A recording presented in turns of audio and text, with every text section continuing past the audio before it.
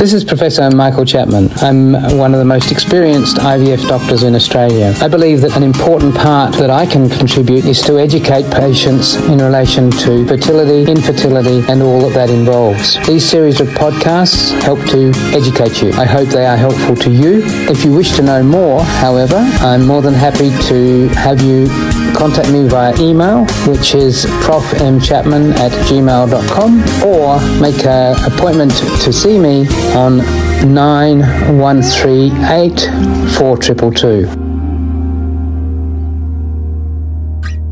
An Australian scientist, David Gardner, some 15 years ago developed a, a system for grading embryos.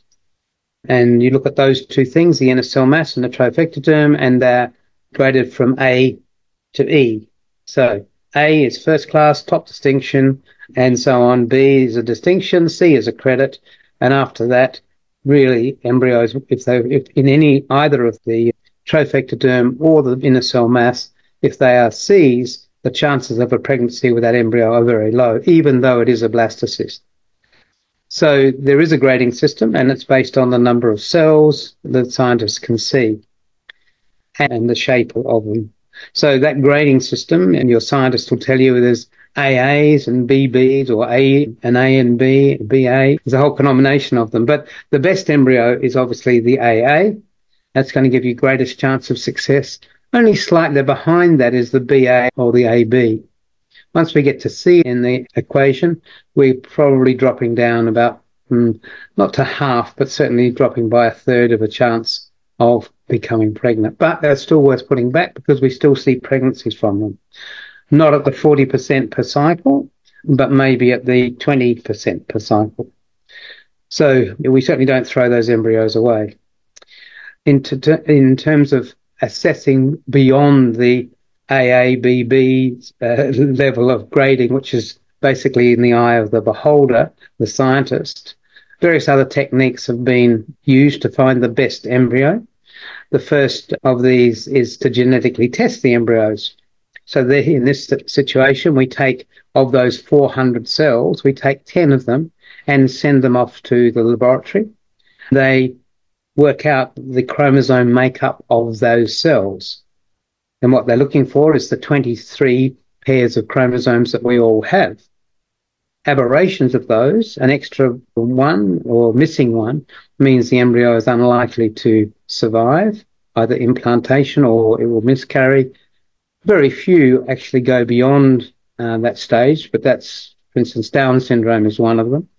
And that's why genetic testing is used because for two reasons. One is obviously it gets rid of the possibility of a Down syndrome, but um, more importantly, if your embryo has a normal number of chromosomes, when we put that back, it probably has closer to 60% chance of producing a baby rather than the 40% when that, that's invasive. Um, we do lose the occasional embryo in doing the biopsy and the freezing and the thawing that's required for that. So people have looked for non-invasive approaches. So one approach is using artificial intelligence. It goes back to those time-lapse photographs I was talking about. And the computer, the AI system has been, has looked at thousands of images well, hundreds of thousands of images and come up with solutions or uh, algorithms that say, based on what we can see, we think that this embryo is going to be the best of the, of the lot.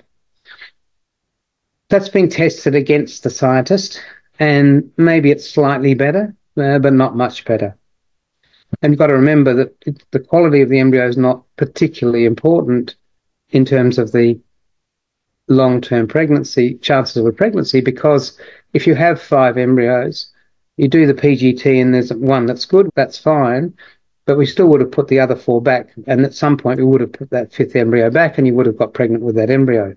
So it doesn't change the long-term chances of success. What it does is bring forward the chances of success in time and money and emotional stress. There is some value in, in doing that in in trying to get work out which is the best embryo.